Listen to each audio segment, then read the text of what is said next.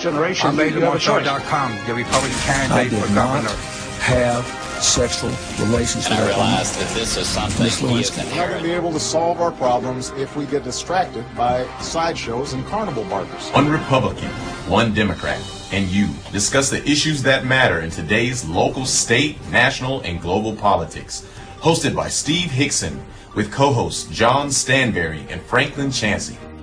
This is Backfire.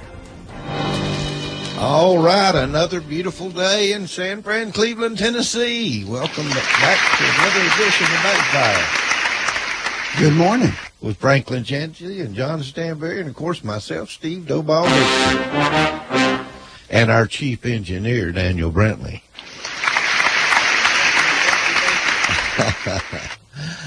oh Lordy, I tell you, I've been gone just about all week.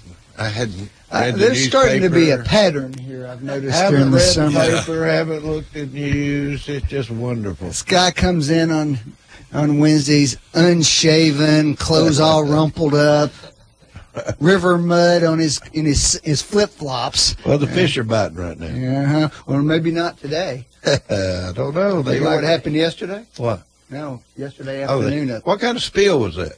Uh, four th- uh, eight thousand gallons of gas and four thousand gallons of diesel. in The Ocoee Ocoee? River. Oh. Where did it go in? Uh, yeah, but you, it doesn't matter. It's coming down to you at the lake. I don't know how much time I got. well, it, I, I think on the upper portion of it. Yeah. Uh, eventually, it makes its way down because the the flume's out of line service right now, so they can't stop. That water run down through, it'll be gone quicker. They had, uh, well, yeah, but where's it going? It's going down to the Hiwassee. it'll get down there. Hey, they'll clean it up down there about Olin. well, they're, um, Couldn't you on the lake? Couldn't you just set it on fire? You can ring that stuff uh, in on well, water they are doing that. There are booms up there, and they're trying to get to it. The, yesterday, they were trying to get to it to pump out. See, I've never understood that when they pump it. Just light the thing on fire. Ring it in out in the middle of the lake and set it on fire. Well, I'm not sure it works. Well, that- probably not in America with the EPA, but, it, but it may work that way with the diesel. I'm not Yeah. so sure about the gasoline. Well, they have. so given that there's a um, there's a large Fish fry. that there's a large tanker truck there with with thousands and thousands of more gallons in it, perhaps setting a fire at the maybe, moment's uh, the yeah, best get idea. that cleaned up first. Yeah. Well, Monday they had the TVA partners up there to celebrate their new agreement, where they're, the rafting people are paying the TVA to raft. So, yeah, and then uh, then they had the uh, spill. So, anyway, we'll see what happens. I better get back up there and check and see what's going on. I But now know- was the spill. the spill? fishing, the The fishing just 64 getting. and by the way, in case you were traveling, I mean, as of last evening, 64 was completely shut down. You know, that is really, when they had that rock slide, that is really, really tough on the people that live up there because there is no alternative outside of miles and miles and miles. Oh, I know. So You're is gonna this still Tokyo. up in the rafting area? No, it's above that. It appeared it appeared to be in the uh, from the picture I saw. It appeared to be in the uh, uh, smoother portion of the water up there. So, but it but it made it sound like it was farther upriver. Hmm. I think it probably uh, ahead of the uh, the put in for the raft. They could, they could get rid of that. if They just quit letting those trucks on those, on that highway. Yeah, but there's no alternative. I mean, you know, the highway's the highway. highway forty. Huh? They go Highway forty and go around. I, I know.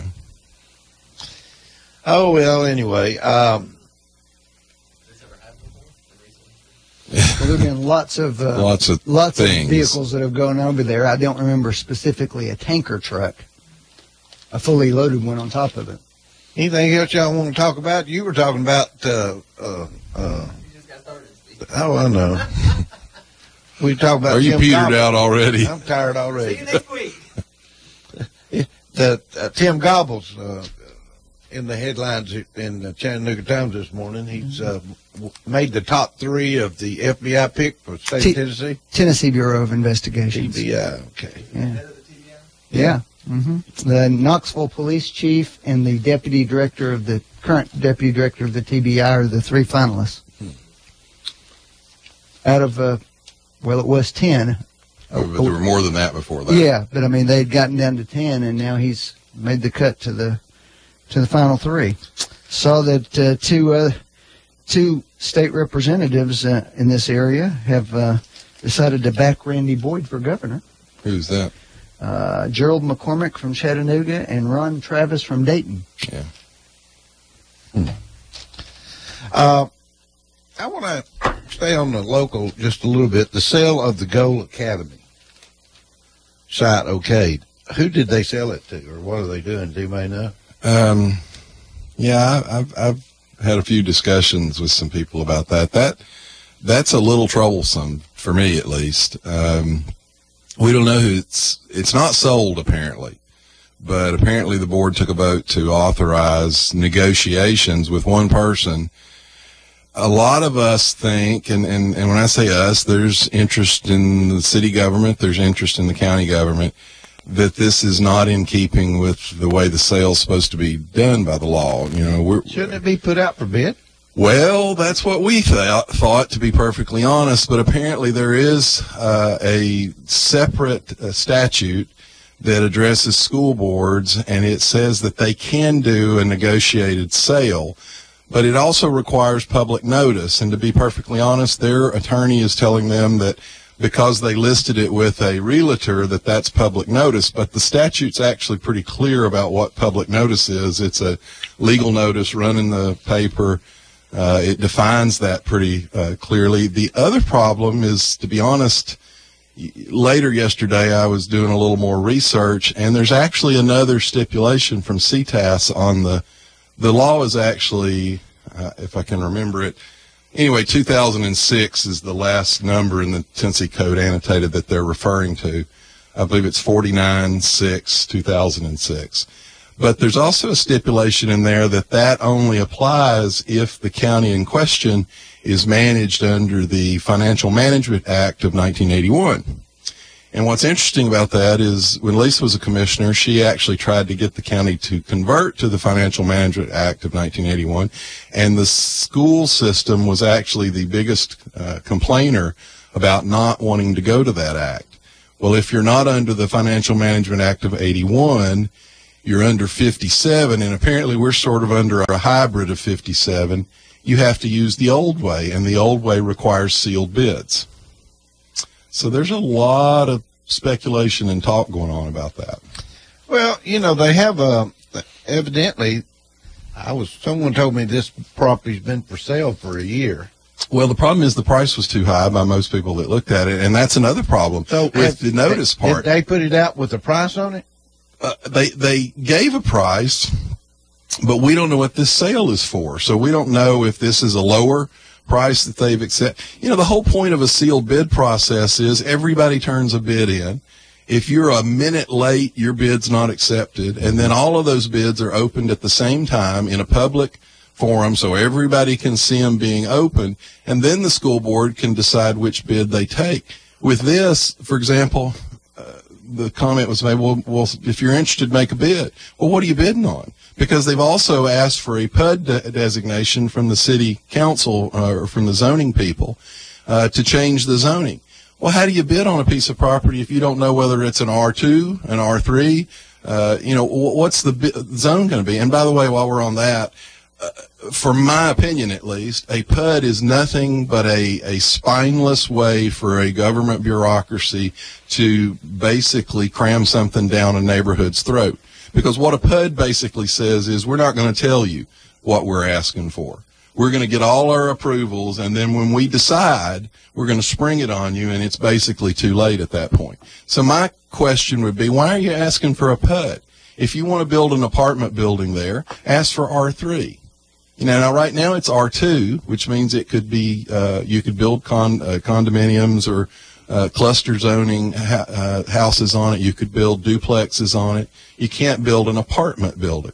Now that's a almost exclusively, uh, R1 neighborhood. I don't- There, there's some duplexes around, but most of the houses around that are single owner houses. That road is terribly curvy, terribly difficult to That's the road I've always thought the city should have taken, straightened, and widened and made a cut through. It. Well, here's the problem. When you, if you do, especially if you end up, I've actually heard that there's interest out of Chattanooga in going commercial there. You go commercial on that road, you're going to be condemning houses to straighten that road. You know, the city will have to condemn houses, straighten the road. Uh, so there's a lot involved in this, and the school board, quite frankly, seems to be. I I know they need the money, you know, for this uh, American Uniform project that they're doing. Uh, but there's a public trust here too to the communities impacted by these things. I just can't imagine um, taking bids on this thing and and not putting them out to the public. I mean, Well, the attorney yesterday I The- talked to the- was very that- clear. He, he chastised me for using the word bids. the ad- identity of the would-be buyer and the price being discussed have not yet been publicly disclosed. Well, see, that's the problem. How do you have a public disclosure and how do you generate more interest if people don't know what the actual price is? Now, they set a price a while back that was, I think it was over $900,000 for it. And it valued the building. The problem is most people consider the building an actual hmm. detriment rather than an asset. Well, I'm sure that building will be taken out. Well, see, that's the problem. You can't value a building into the value of the property if if it's going to have to be torn down. It's actually a negative on the property. A PUD, if I'm not mista- mistaken, a PUD is a design. No, it's a PUD stands for Planned Urban Development, It's a plan. It's a it's a design. but the public doesn't know. The public won't know until it's already done. That's what I don't like about them.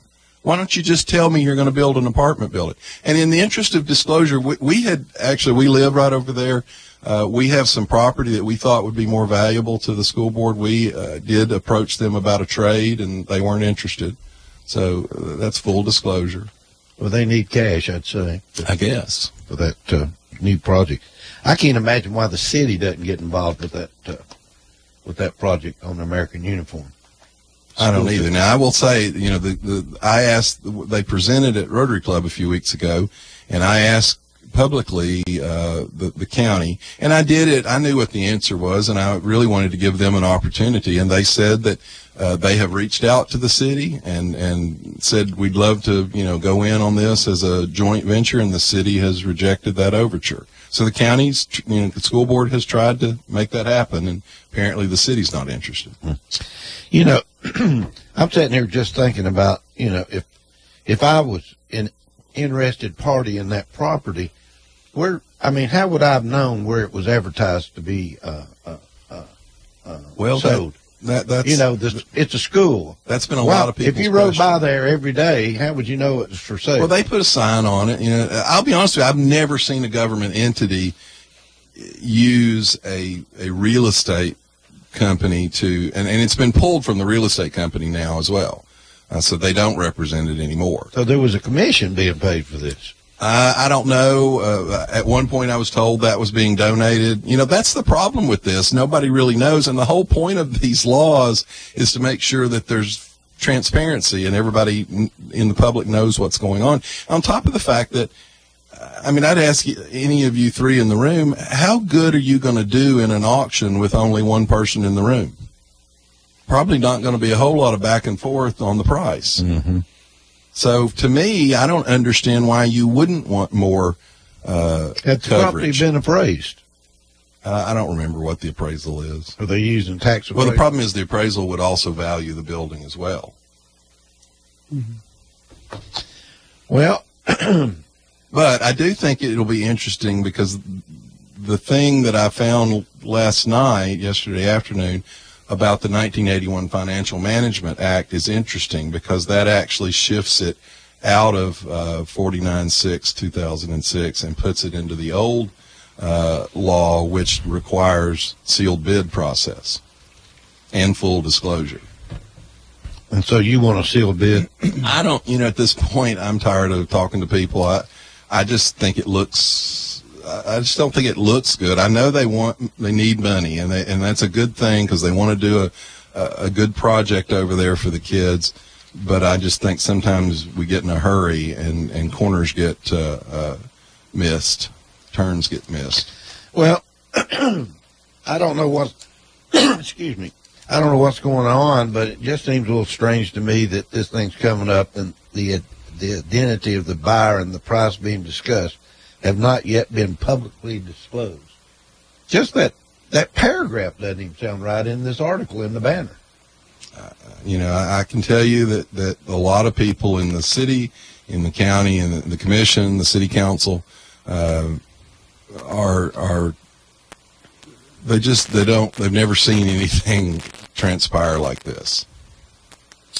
Well, I think one of the reasons I, I'm reading the article and looking at it a little more in depth, they might be trying to get a commitment to it where they can start spending some money on the new on the pie on the new place. Well, now that's what they want, and that's an admirable. You know, nobody's opposed to that, but you know, if I, well, for example, I'm habitually late to this program. I really don't think if I'm going uh, 70 miles an hour down Keith Street, the officer is going to take my good intentions to be on time to the radio show as a reason that I can drive 70 miles an hour down the road. So you will.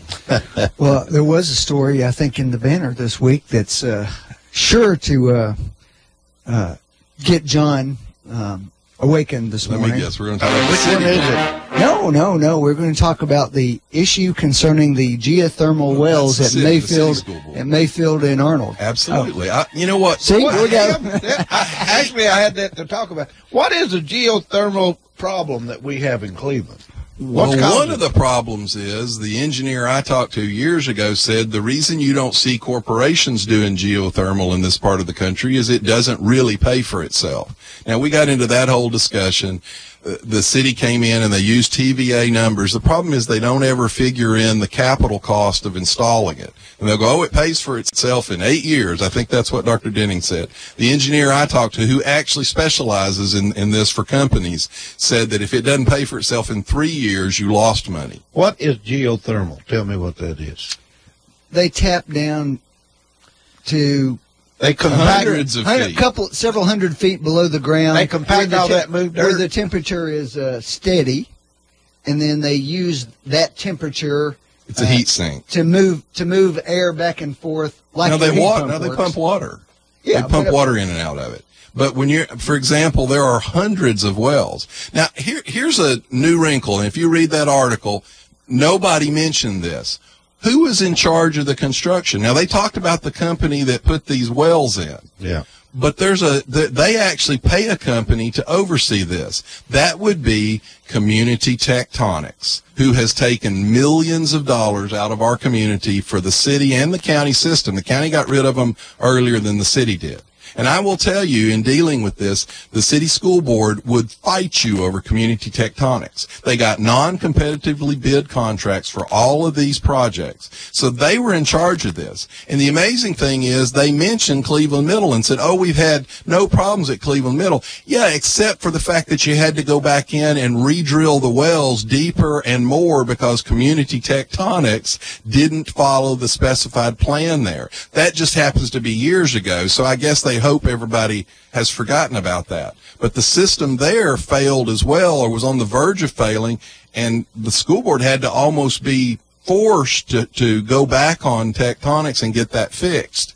And I can tell you as a, as a parent of a student that went through Cleveland High School, the system over there, one room's hot, one room's cold. It's been a disaster over there as well.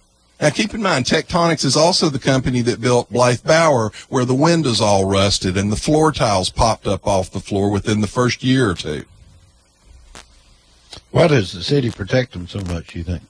I don't know. They got non-competitively bid contracts for years. I can tell you at, at Arnold, that's one of the sites they're talking about where it was collapsing. And they now the, the kids, you think about this, the kids can't go out on the football field now for fear that they'll collapse into a sinkhole. That at. Arnold? Yes. Let me tell you something about Arnold. Arnold, I, I've got blood over there on that field, I do too. and it was a uh, brick yard. They made the old style brick back when. That's what they made there. That's why that place is so hard. Well, here was an interesting story. I think I've told this before, but we were at a meeting when they were talking about doing this. And Tectonics laid out the plan and they showed where they were going to do this new entrance out there at Arnold and, and eventually they're going to do the geothermal. And I put my hand up and said, do you, do you own the land? Now I got chastised, Dr. Denning. Oh, of course we own the land. Well, finally the principal, uh, kind of tugged on his sleeve and went, uh, we don't own that land. There was an agreement between the county and the city for that field. The county maintained it during the summer, and the city maintained it during the uh, fall, but the city school system didn't own that land. And so my only point was here you had Tectonics getting these un, non-competitively bid contracts, and they design an addition and a driveway and all of this stuff on land they don't even own. So nobody even bothered to check where the the edges of the property were and what they owned and what they didn't own. So that's the level of of uh, expertise that we paid Community Tectonics for.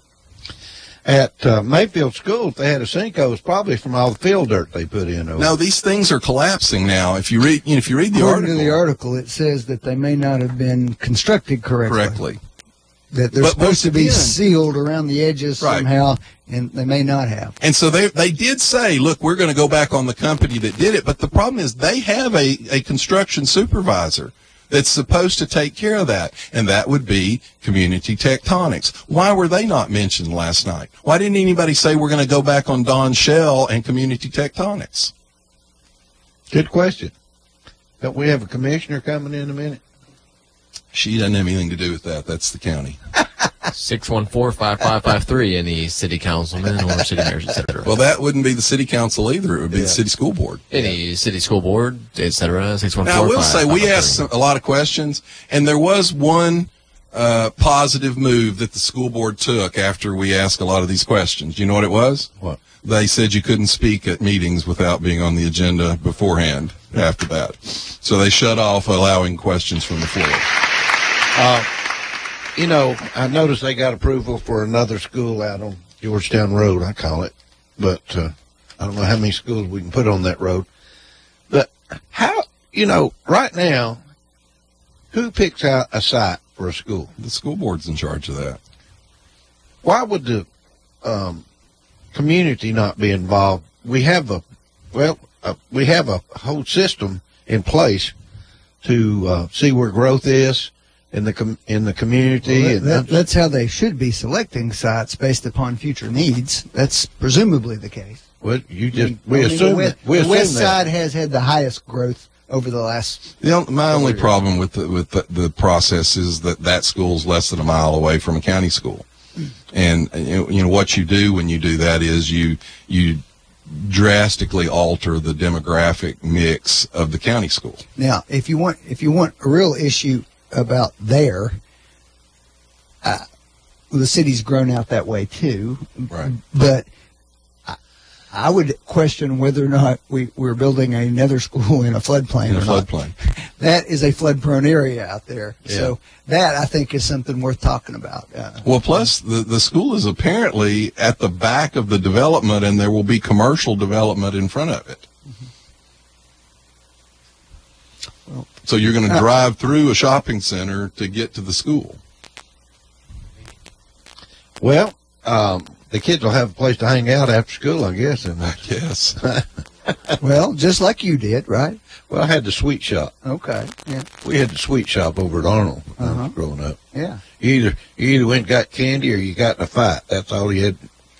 Did that now, now? Did they have refined sugar back then? They had the real deal back then. I, I didn't know if sugar had been, you know, discovered yet. No, uh, They had to chop their own cane uh, to make it. They grew it in the yard. this was this was a true sweet shop. You walked in and it had red hots and had all kinds of stuff in there. I don't know what that lady that had that street uh, sweet shop. I don't know how she made any money, but there was a lot of kids that came in there right at the end of school. I can tell you that, and some before school. Uh, what else would you guys like to talk about this morning, Franklin? I'll give you the floor this morning. What you got on your mind? Uh, well, We could talk about the sexually transmitted diseases in California I've got some. rising.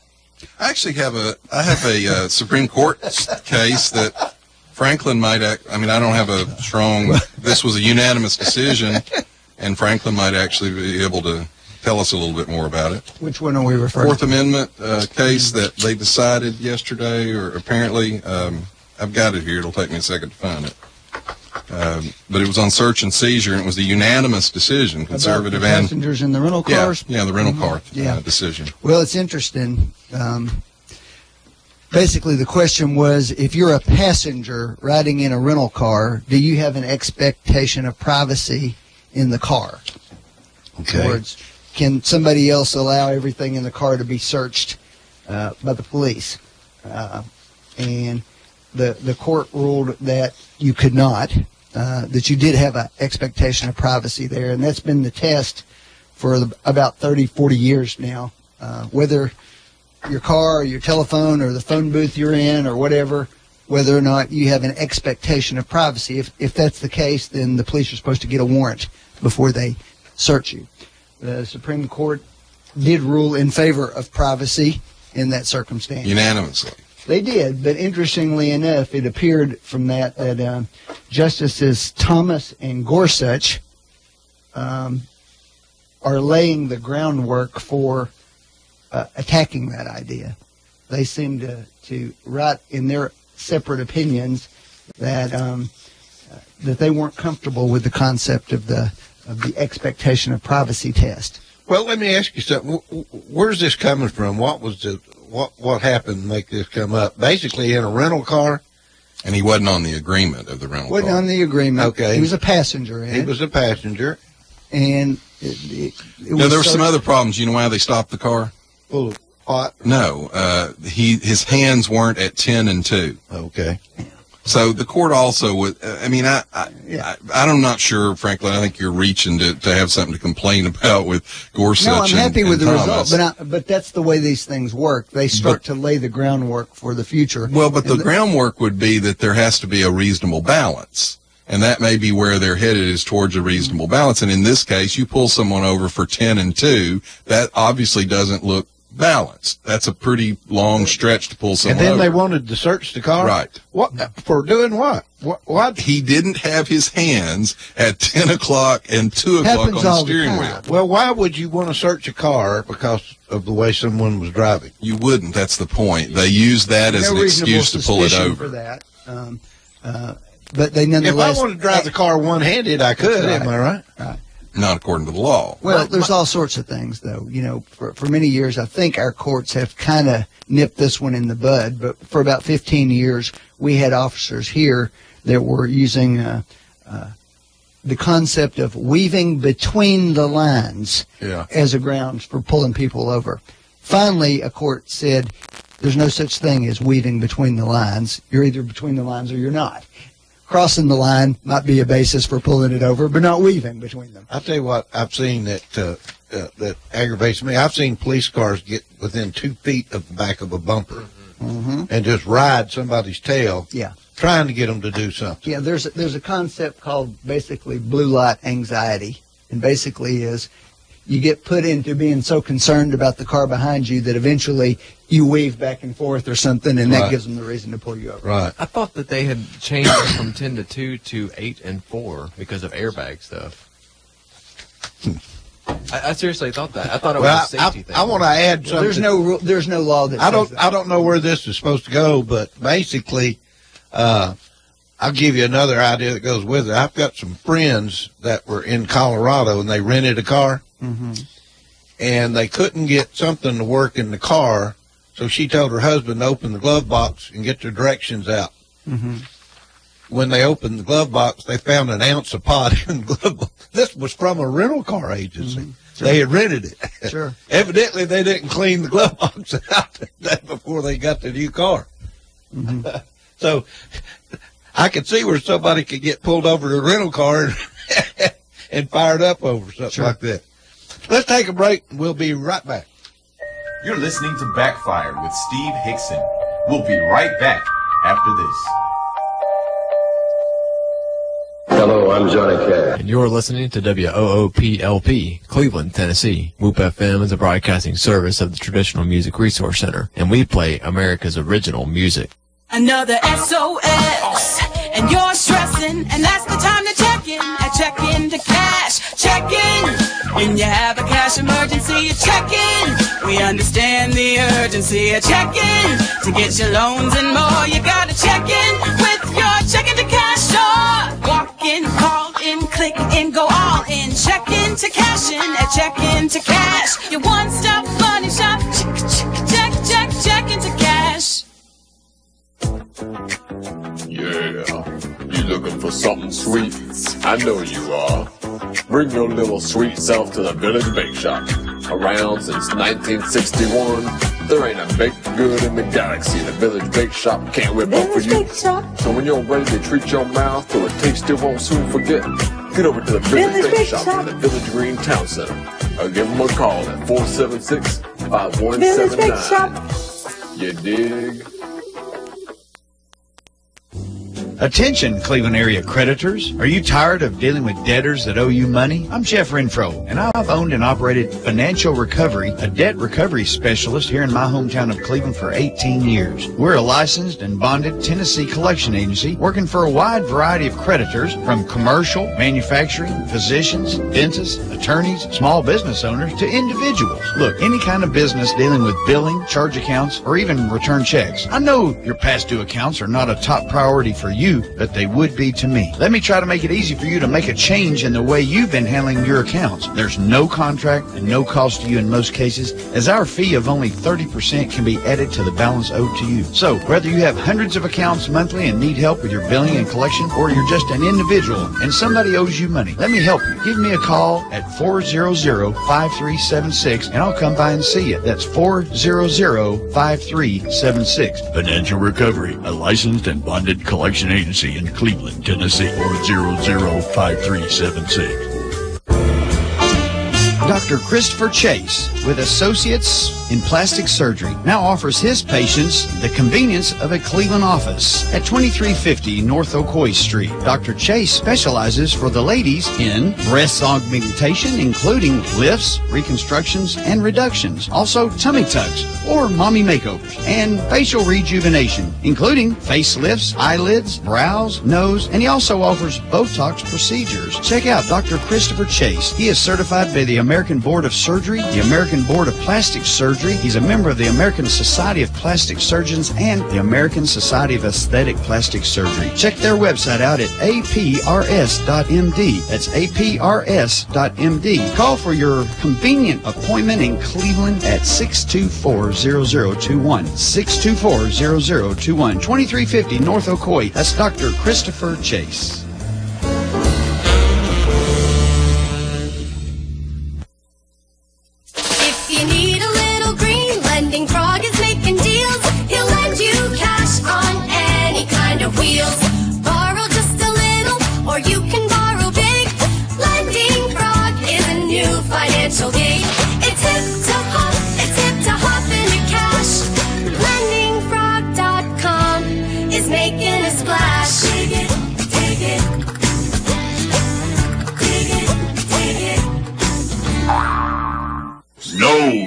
Allowed. Jackson Catnapper, family owned and operated in Cleveland since 1933, offering the best with over 70 styles of recliners, sofas, electronic lift chairs, full living room packages. Call Mike now at 961-7239 because Jackson Catnapper now offers sales to the public Every Saturday. That's right. Every Saturday. from 8 in the morning to 1 in the afternoon. Or call Mike at 961-7239 or go see him Every Saturday. at 1911 King Edward Avenue, just across from the main plant. Jackson Catnapper, family owned and operated in Cleveland since 1933. 961 7239. No dealers allowed. You're listening to Backfire with Steve Hickson on Whoop FM. Call 423-614-5553 to join in on the conversation. Now, back to Backfire. Franklin, I've got to ask your opinion, what you think, and I know what John's going to think, but in Seattle, overtaxing a, a system of tax to stem the homeless, to help the homeless. No, wait a minute. Don't just say it that way. It's two hundred and seventy-five dollars per employee on on corporations. Well, I that- was getting ready to say that. John.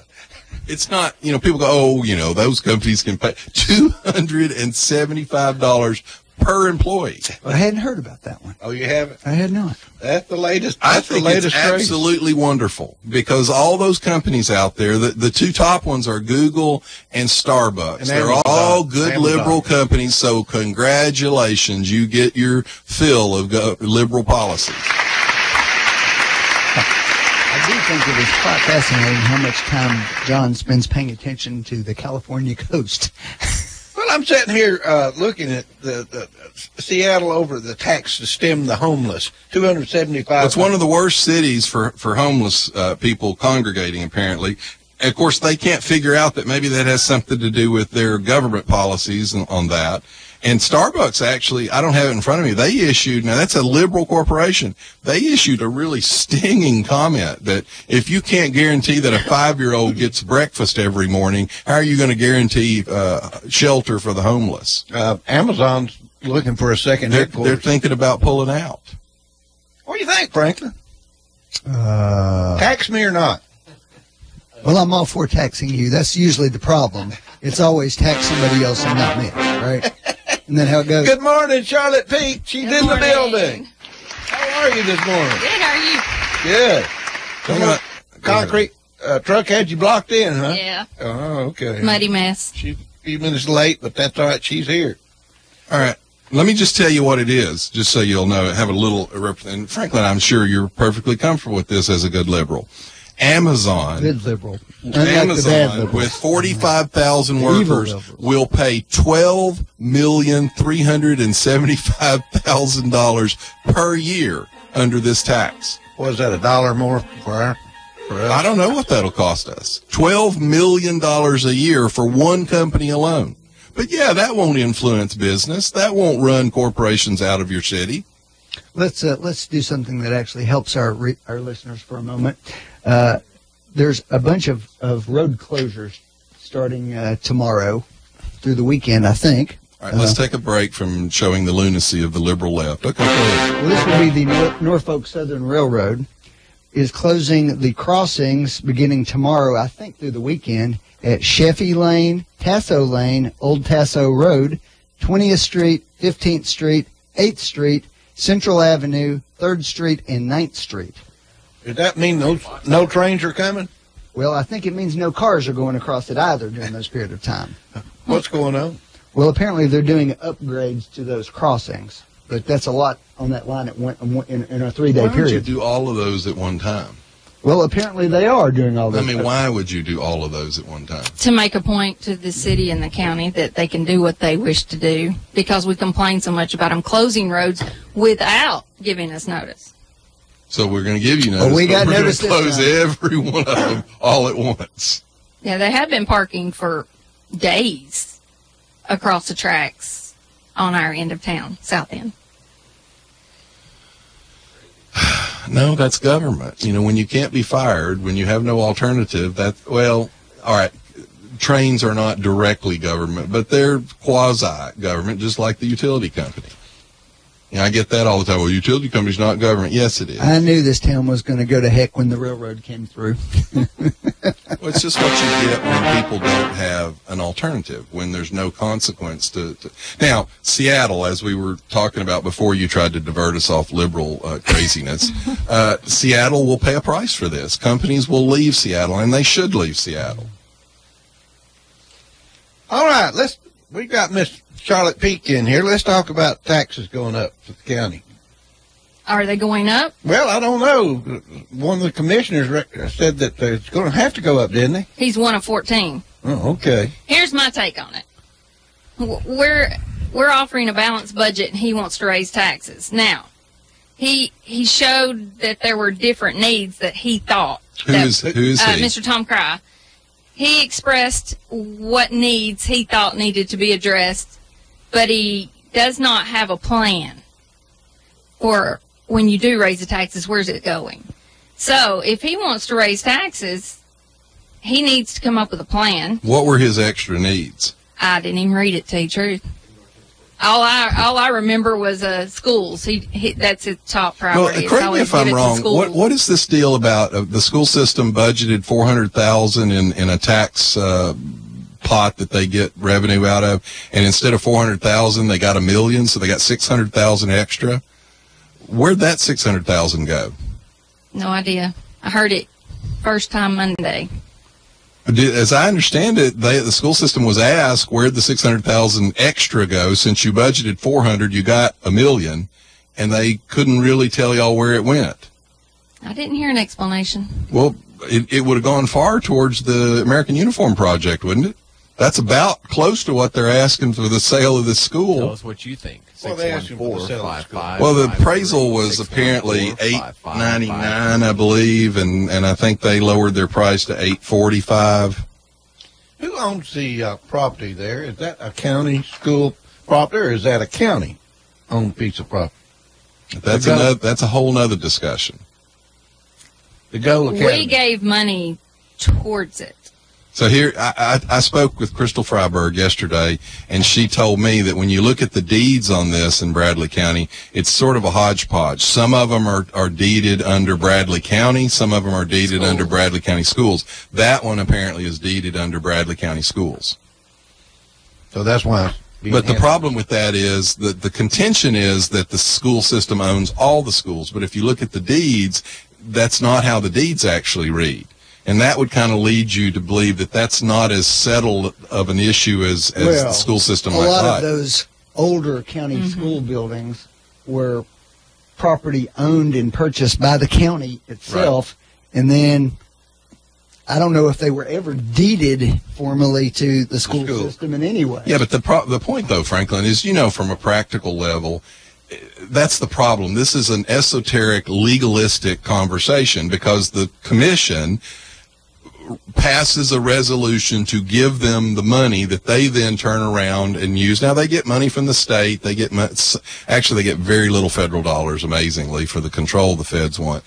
But it's all taxpayer dollars. Whether it's the state money or the county money, it still belongs to the people. It's another one of those silly arguments of, well, no, this is our asset. It's not your asset. No, it's all the people's asset.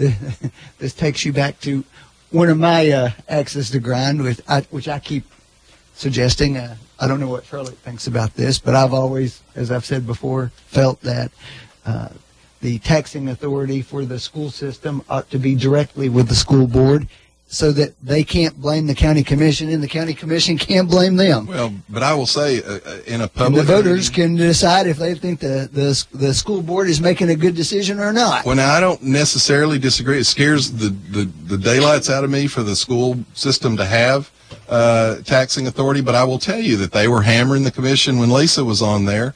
And uh, at one point in a public meeting, she said, fine, I'll be glad to pass a resolution asking the state to uh, give you all taxing authority. And they backed off that real fast. As long as I can remember, the discussions have been, well, the county commission decides the tax rate and how much money we get, and the county commission has said, you know, the, the school board is not being good stewards of the money. I don't mean specifically right now, but at various times during this, and the voters have to try to sort through which of those is actually a true statement. It just seems to me direct accountability would be the best approach. And, let me, in, in the interest of being fair, let me say that that I, I have gotten somebody that that uh, gave me a little information that perhaps with the six hundred thousand, that line was over in the taxes, but there were uh, some other taxes that were under collected, and so it may have zeroed itself out, and that, it may have. But it still bothers me that in a commission meeting you ask the question and they can't tell you that. They said there was something estimated that was way under something from the property tax. I don't recall all of it. Charlotte, it was let a me- long meeting. Let me ask you, um, when a property a property like that that that's been a, a county school system, when it's being sold, should that revert back to the county? The money generated from that back to the county? Most of the time, the county has bought the property, or or or most of the time, the county's been involved in raising the money. Taxpayer dollars. Either way, I don't know what I, how I feel on that one. I mean, if they're selling the piece of property to purchase a new school or to go towards the reduction of debt on another school, I mean, That that runs Either into way, the, we the- have to the give it to question has think. always been who's in charge of this. You know, the the commission looks and says you're asking for money. We don't like this project. The school board says it's none of your business what the project is. We're the school board, and I'm kind of odd on that. I I don't know if I'd support that or not either. Like Charlotte said, if they're using it, they're in charge of the schools, and and you have to trust that that that, that they're trying to do the best job they can.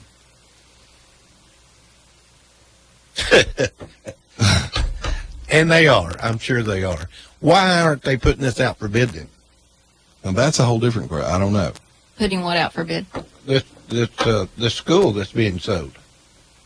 Look, they want to get the most money they can get. Goal Academy? Yeah, Go Academy. Why I just don't. I just think this is misguided doing it this way. We are looking into the legalities of that to make sure that. Uh, I think they've got two different attorney opinions right now that says they can, without bidding it out, that they have the authority to do a direct sale. And then we have another attorney that says they can't. So I think we're waiting on a an, a third authority to tell us. I'm not sure. Well, Charlotte, I don't know if you heard earlier, but apparently I, I was reading a piece from CTAS on this, and they said that it's different if you're not managed under the Financial Management Act of 1981, which Bradley County is not. And so I don't know if that's going to make a difference or not. Because you all are not, apparently, you're not exactly under the 57 Act. You have a private act that sort of incorporates that. But the way I read that, that statute, if you're not under 1981, the 2006 uh, law, and that's not the date, that's the number, uh, does not apply. And that's the law that they're hanging this on, that they didn't have to do a newspaper notice. They didn't, they could use a realtor. They could do a private sale. Dum, da, dum, dum. but I'm not an attorney. Well, Charlotte, since we have you here, um, first of all, congratulations on your your Oh, yeah. reelection. Thank you. Yeah, congratulations. I don't think you have any opposition at this point, correct? I did have opposition, but no, No, I I don't this- moving forward. No. Uh, so, what what do you think are the biggest priorities for the for the uh, uh, commission moving forward uh, this next term? Um, new revenue sources and infrastructure. Okay. So, wh- what what new revenue sources do you think we ought to be considering? I think there's a couple options out there right now. Um, I know Tom Crow wants to raise taxes. I would not be for a tax increase unless they did a s- study like the city did. Go in out into the community, ask them what their needs are, ask them if they really want a tax increase. Um, I was thinking a lot of them ask about the wheel tax. Why can't you do the wheel tax? Uh, Tom Crow put some misinformation out there. I don't think he did it purposely, but he mentioned that he would uh, raise the firemen's salaries. That can't be done unless you raise the fire tax. That has to be funded through the fire tax. Uh, so I guess uh, hopefully with new eyes we can try to find new revenue sources. If not, we have tons of building going on too, by the way, and we are 800 homes right now short in Bradley County and the city of Cleveland. So with more building, we'll get more tax revenue. That's how we also um, afford to give a 2% increase across the board every year. And the infrastructure sewer, I want, we, we've got to come up with something on sewer. We had people in there Monday that live on Spring Place Road that their field lines and their septic tanks, they have to pump them yearly. Well, we are growing into But now, areas now that let me get, really let's get into that a little bit too, because heavier septic use. You're right, exactly. those people are in between a rock and a hard place because a lot of their problem is flooding. Mm-hmm. The flooding backs their system up, and then the city or the or the utility company penalizes them. Actually, can come out and fine them. Well, for they're in the county, so the state is finding. fining them for overflow. Yeah, the state it's, is. it's a flooding issue, not not a. It's Well, not that they're not becau- maintaining but their. they're in areas where the ground doesn't perk well enough to support the usage in that area. Correct. And these systems were put in pre 1960. So you don't know what kind of system they had, but they're function. They were functioning, and now they're not functioning. Yeah, So, what's causing them not to function? uh, flooding, and yeah, you, it- the ground's just saturated. So, but but but think about that. You you have your home, and and it's it's built in 1960, and you've not done anything wrong, and the flooding comes, and your your septic system backs up, and then the state comes in and fines you for that.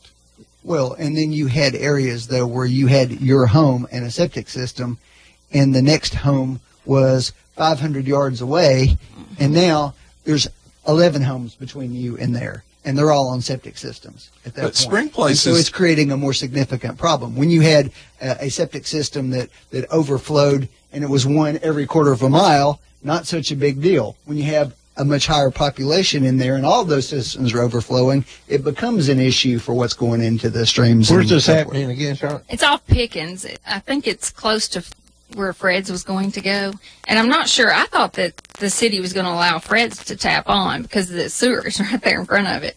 Uh, but I heard that it's on septic, so I don't know. But this guy said he could throw a rock at the city limits. And so eh, we've got to get an interlocal agreement with Cleveland Utilities or do something. But they do have a one mile radius service area that we can't touch. So if we could get an interlocal agreement with them and make them maintain that one, But, but what does that Mile mean? service if area? they've got a one mile radius, these people are inside that one mile radius. they should be servicing them. Well, I understood that they made an offer, but the offer was twenty thousand dollars a house. Yeah, that's what the guy said. Just unbelievable. I guess we just need to get in there and see if we can't work with City of Cleveland and Cleveland Utilities and come up with some immediate Well, I mean, solution but for what is these the people. point of the one mile radius? I, I don't know. I haven't understood I mean, that. if you're not going to offer service in the one mile radius, but but the radius says we can't come in and do anything in that radius, does that just leave the people in limbo? I think so. Ocoee Utilities can't come past Jackie Evans. Jackie Evans and the Dollar General and all that area on 64 Highway desperately need sewer. But But there's sewer out there because the school y'all put a 13 inch line going over to the uh, uh, Whirlpool plant. Mm-hmm. So there's there's sewer beyond them, correct? yes, But they can't tap onto it. correct. That doesn't make any sense, does it? No, it doesn't. Well, is anybody right now? Is anybody pay for it? right now designated or tasked with the function of trying to negotiate this issue, or is it just sort of floundering out there? It's now? floundering, but I've taken it up as one of my tasks. And uh, I asked Jeff Yarber the other day on the commission on Monday to help me see if we could not reach out to Clean Utilities to get these folks some immediate. But for the county to develop it, I still don't think anybody will benefit seven to ten years down the road. Now, Ocoee Utilities is expanding as we speak. Well, that would be a significant investment for the county. Can we agree on that? If they were going to undertake it themselves, Well, Hamilton County did it 20 years ago without a tax increase to their uh, citizens whatsoever. And uh, Dennis Epperson's coming on board, and he's been researching this for a year or two. Um, we did have a ad hoc committee that was designated to go out and just find different systems. Uh, Lake Mantooth's on that, I think, and some other. Tom Crye may have been on that, but anyway, we've been researching it, and hopefully this year, with extra help, we can get in there and get something Is that in the city? what in the city? Well, you said the new school out there. You said there was sewer out there, and it goes over to the whirlpool. No, it's county. that's I mean, county. That's Right. county property, right? Mm-hmm. How far is the city limit from there?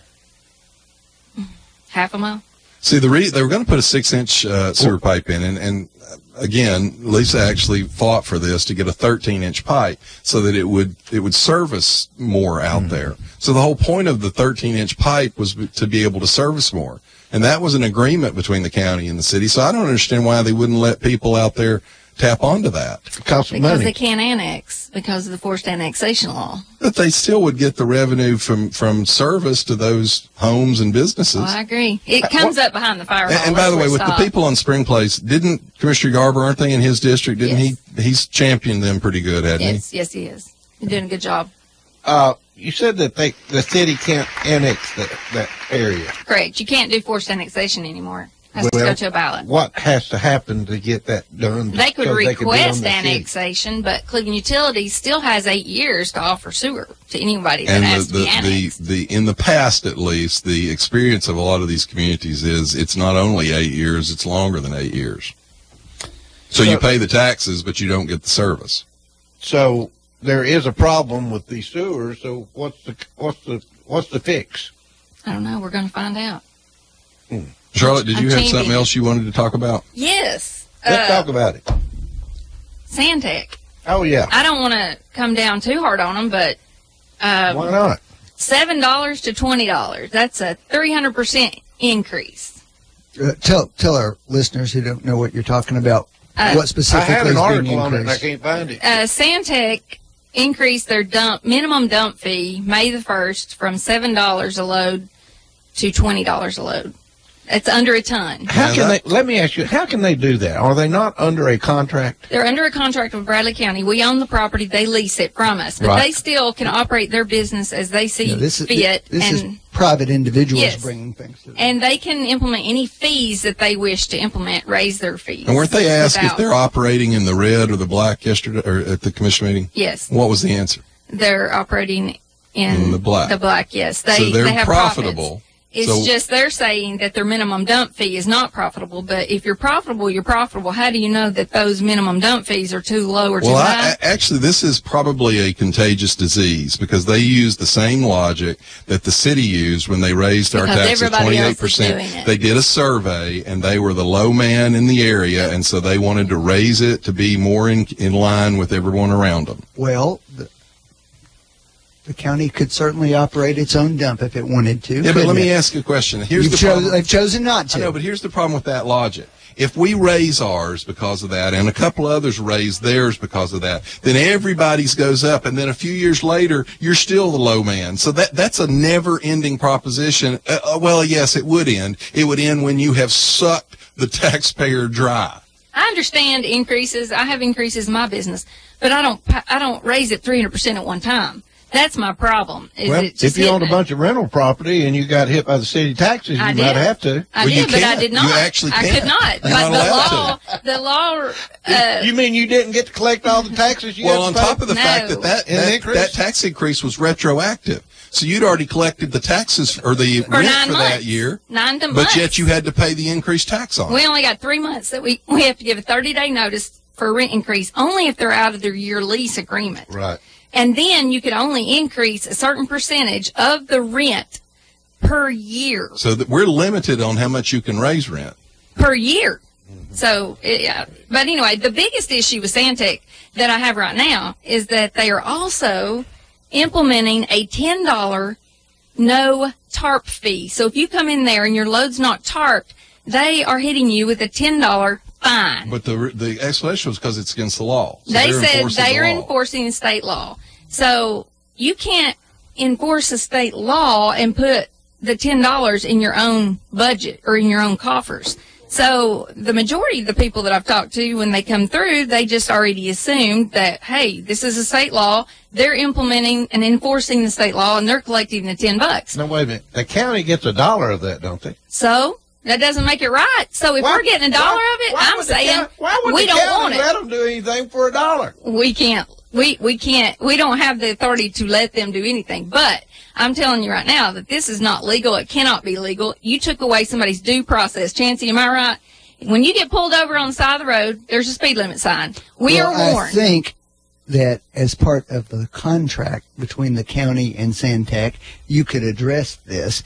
As it presently stands, I don't know that there's any legal impediment to them doing this. Here, here's the problem, Charlotte. I, I, I was speaking with someone yesterday. I actually think they can do it. I just think that the way they presented it was wrong. What they should have said was, "We're going to charge you ten dollars for having no tarp on our property." And they can do that. They they presented it. I think they were trying to make it seem more legitimate by going, "Oh, this is state law," and it made people feel like, "What? You're now a private police force that's Mhm. enforcing state law?" Well, they do have a sign up, but here's my pro- problem with it: is that we have signs up on the side of the road. If I get pulled over for breaking the law, I get a ticket, and when I get that ticket, I can either pay it or I can go to court. I have the due process, and I can decide. When I get there, it says you have a warning sign, but still you break it. When you leave, you have to hand them the ten dollars. I don't hand a police officer ten dollars whenever a- I get pulled over. Hand them a credit card and see what happens. They take them. Well, if their machine's working that day. Yeah. But my point is, they take away my due process. If I want to break the state law, I can break the state law. But, I they still can have the due also implement any fee that they really want on their property. I just think they presented that. Uh, but I think it's a fine, not a let- fee. let me- All right, let me say- Let me change the subject just a second. just, I want to stay on the subject. but That, that that's like a permit is a fee, not a tax, right? well, it is. I, I don't disagree. Our landfill's now the highest mountain that we have in Bradley County. Am I It right? is. No, I don't know. I haven't been by there. It's the tallest point. It's the tallest point in Bradley County now. How high is this thing going to go? I don't know. We still have Is 20 years taller left than on up it. There where the Epperson tallest car point. dealership is. Yeah. Tallest point. We still have 20 years left on it. That's all I keep getting told. So 20 years. What happens at the end of 20? You I find some find new some property, new or you property. send Let- it somewhere else. Let me address one thing though. I heard that one of the commissioners made the comment, "Well, it's only twenty dollars," and that is such a misguided comment to make because if you're in a business, for example, the business you're in, where you're demolishing property and rebuilding and things, and you're regularly taking things down, it's a 300% increase in one of your costs. Mhm. So that, that is just such a simplistic When and does this go unfair statement. May 1st. May 1st. It's already in, it's Oh, already in it's effect. already in effect. hmm So to, to say, oh, it's only twenty dollars. Yeah, it's only twenty dollars every time I go out there. And the only notice we got was a little flyer out the window during the two weeks prior. They said it was out 30 days, but I got one two weeks prior, and that was the only time I got one. So, and there was not a notice in the paper. Usually we get a 30 day notice of huge increases at the dump, but we, we got nothing. Well, somehow we've uh, gone through an hour here, and uh, it went pretty quick. And let me say something. I don't think we've had anybody yell or scream today, and we haven't talked about what a great job Donald Trump has done this week. Or what a disaster it's been. yeah, because you know, earning a Nobel Peace Prize will be a complete disaster for the Yeah, that- Democrat that Party. went really well last night, didn't it? what?